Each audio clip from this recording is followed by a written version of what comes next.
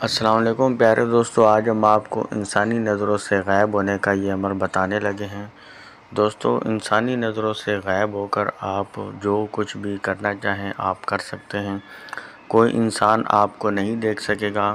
آپ جو کچھ آپ کے دل میں ہے، جو کچھ آپ کرنا چاہیں، آپ آسانی سے کر سکتے ہیں۔ تو کوئی بھی انسان آپ کو نہیں دیکھ سکے گا۔ تو دوستو، آپ خود سمجھدار ہیں کہ انسانی نظروں سے غائب ہونے کے بعد آپ کیا کیا کام کر سکتے ہیں؟ تو چلیے دوستو، آپ کو عمل بتاتے ہیں کہ کس طریقے سے آپ نے یہ عمل تیار کر کے استعمال کرنا ہے اور انسانی نظروں سے غائب ہونے کے بعد اپنی دلی خواہشاتوں کو پورا کرنا ہے۔ تو دوستو، اس کو، عمل کو کرنے کے لیے آپ کو تنہائی میں آپ نے یہ عمل کرنا ہے۔ کوئی ڈر خوف اس عمل میں نہیں ہے۔ ہر لڑکا، لڑکی، عورت، مرد، مسلم و غیر مسلم، خواتین و حضرات، چاہے وہ مسلمان ہیں، چاہے وہ غیر مسلم ہیں، ہندو ہیں، سکھ ہیں، عیسائی ہیں، کسی بھی مذہب سے تعلق ہے تو آپ یہ عمل کر سکتے ہیں۔ دوستو، یہ عمل آپ نے چاند کی چودہ تاریخ سے آپ نے یہ عمل اسٹارٹ کرنا ہے۔ تو دوستو، اس عمل کو آپ سین میں بیٹھ کر بھی کر سکتے ہیں اور کمرے کی مکان جو ہے گھر کی چھت پر بھی بیٹھ کر یہ عمل کیا جا سکتا ہے۔ چاند کی چودہ تاریخ کو آپ نے یہ عمل اسٹارٹ کرنا ہے۔ اور دوستو، اگر آپ کو یہ عمل کرنے میں کوئی دشواری ہو یا مشکل ہو یا آپ مصروفیت کی وجہ سے کسی اور وجہ سے اگر آپ یہ عمل خود نہ کر سکتے ہوں، تو آپ ہمارے دیے ہوئے واٹس اپ نمبر پر رابطہ کر کے آپ ہم سے بھی تیار شدہ حاصل کر سکتے ہیں۔ تو دوستو، چاند کی چودہ تاریخ کو آپ نے یہ عمل اسٹارٹ کرنا ہے۔ کمرے کی چھت پہ یا سین میں بیٹھ کر آپ نے عمل کرنا ہے رات کو سونے سے پہلے۔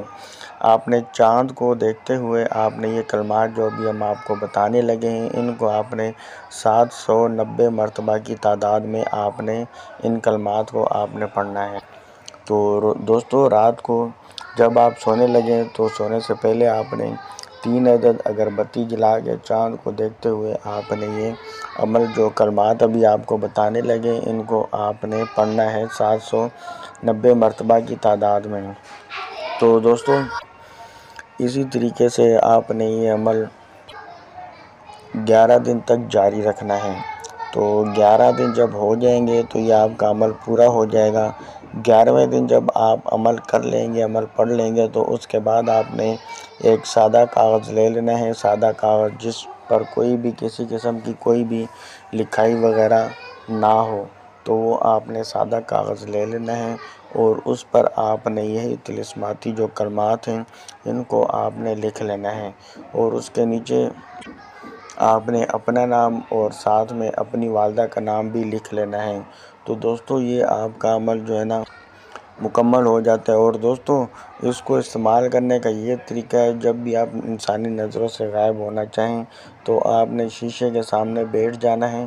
اور اس جو آپ نے لاسٹ دن میں ایک کاغذ پر یہ جو طلسماتی کلمات لکھی ہوئی، اس کو آپ نے کسی بھی کالے رنگ کے کپڑے میں باندھ لینا ہے یا چمڑے وغیرہ میں، لیدر وغیرہ میں، اس کو آپ نے بند کروا لینا ہے۔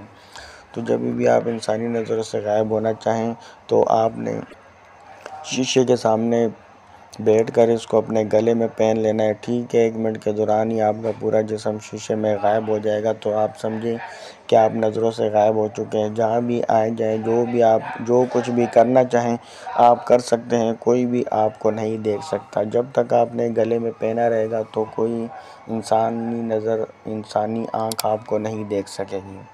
تو جب آپ گلے سے اتار لیں گے تب بھی نظر آئیں گے جب تک آپ نے گلے میں پہنا ہوگا، کوئی بھی انسان آپ کو نہیں دیکھ سکے گا، آپ چاہے جو کچھ بھی کرتے رہیں، کوئی آپ کو نہیں دیکھ سکے گا۔ اور دوستو، یہ بھی آپ کو بتاتے چلیں، جو کلمات ہے وہ یہ ہیں۔ کمانوش، مکوش کمانوش مکوش کمانوش، مکوش۔ اگر آپ پہلے دیکھیں تو اس سے پہلے لکھا ہوا بھی ہم نے اسی ویڈیو میں پہلے کہیں لکھا ہوا بھی ہم نے آپ کو دکھایا ہے تو آپ دیکھ سکتے ہیں۔ اور دوستو، آپ کو یہ بھی بتاتے چلیں کہ جب گیارہواں دن عمل کا آخری دن ہوگا تو اس دن آپ نے اونٹ کا جو گوشت ہے وہ تین کلو آپ نے اپنے پاس رکھنا ہے۔ اور عمل سے پہلے آپ نے رکھ لینا جب عمل پورا ہو جائے۔ تو وہ جو تین کلو گوشت ہے، اس کو آپ نے عمل پورا کر لینے کے بعد قریبی قبرستان میں چلے جانا ہے اور وہاں پر اس کو رکھ دینا ہے۔ یہ اس عمل کی زکوٰۃ۔ تو اس طریقے سے آپ کا عمل پورا ہو جائے گا۔ ویڈیو پسند آئی ہو تو لائک ضرور کر دیجیے گا۔ چینل پر نہیں ہو تو سبسکرائب کر کے گھنٹی کا نشان ضرور دبا دیں تاکہ آنے والی نئی ویڈیو آپ کو ملتی رہے۔ جزاک